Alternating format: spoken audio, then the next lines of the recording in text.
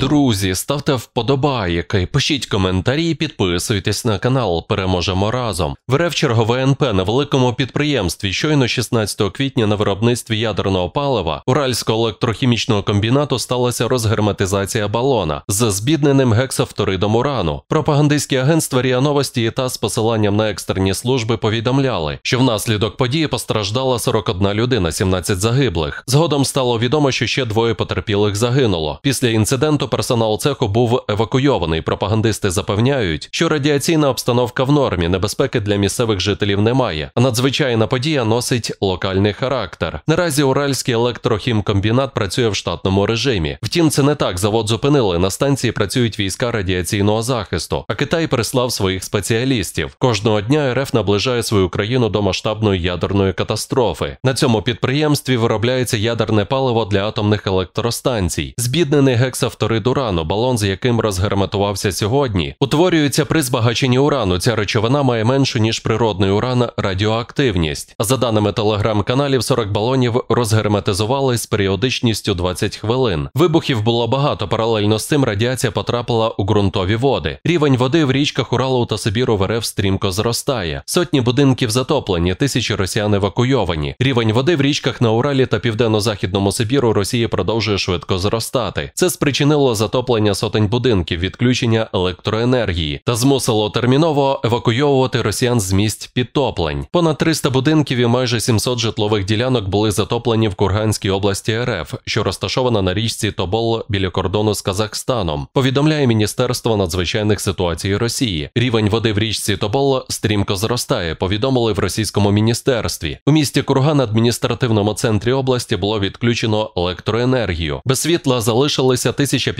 росіян. Губернатор Курганської області Вадим Шумков заявив, що він очікує дуже складної ситуації, коли рівень води в Тоболі може піднятися до 11 метрів або майже вдвічі вище рівня прориву в деяких місцях. Жителі Вішима, міста з населенням 65 тисяч осіб у Тюменській області на південному заході Сибіру, що межує з Казахстаном, попросили вранці у вівторок терміново евакуюватися через критичне підвищення рівня води в річці Ішим, яка протікає через місто. Губернатор регіону попередив, що найближчими днями рівень води в річках регіону може досягти історичного максимуму. Зазначається, що південний Урал Росії, південно-західний Сибір і північний Казахстан борються з найгіршою повінню в історії. Після того як великий сніг швидко розтанув під час сильного дощу на землі, вже залитій водою ще до зими. Нині відомо, що загалом 525 тисяч росіян були змушені евакуюватися. До зустрічі, друзі. Ставте вподобайки, пишіть коментарі, підписуйтесь на канал. Переможемо разом.